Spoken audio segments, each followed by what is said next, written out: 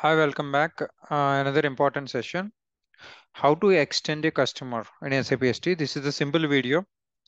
So like uh, the transactions, you can use it at central level XD01. Suppose if it is sales area to sales area, FD01, this is at company code level to sales area level and VD01, sales area to uh, company code level. Wherever you'd like to do it, you can able to do it.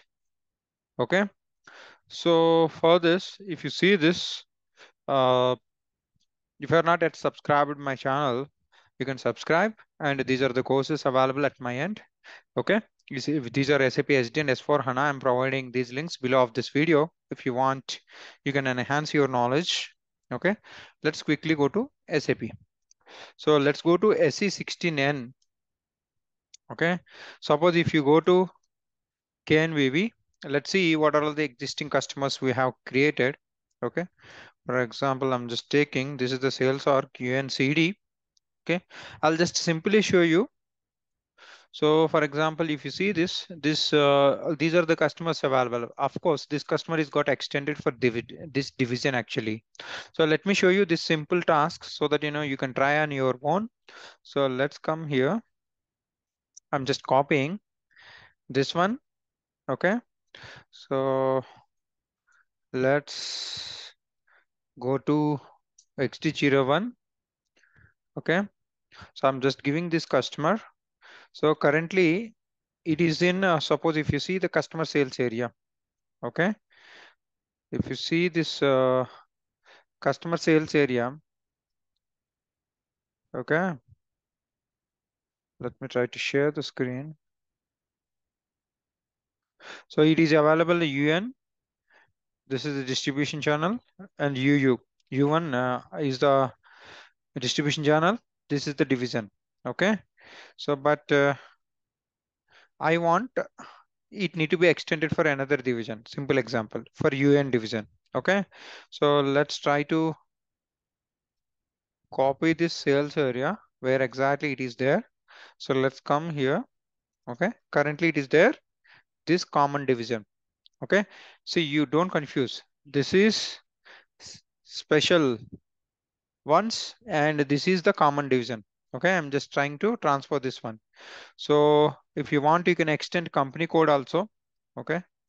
UN C1 is the company code. Okay. UN C1.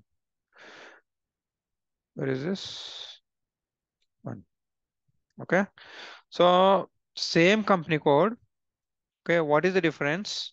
You're taking the same customer. Okay. So currently what is my source? This is the reference is the source actually. You can give the sales area. Sometimes if you want to only extend distribution channel, sometimes you want uh, extend only sales org. Sometimes you can extend everything. This is how you can able to extend it.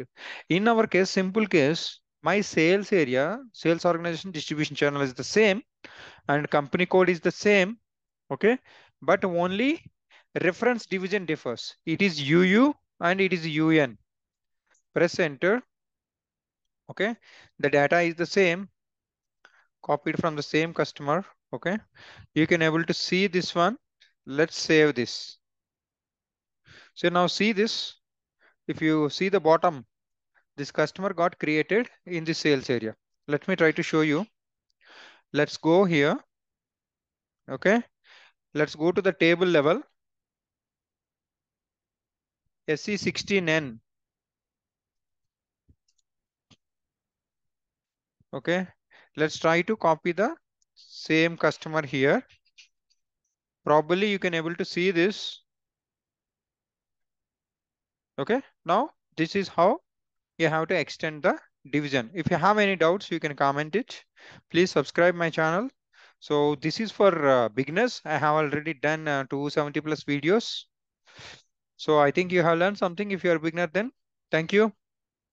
Jai Hind.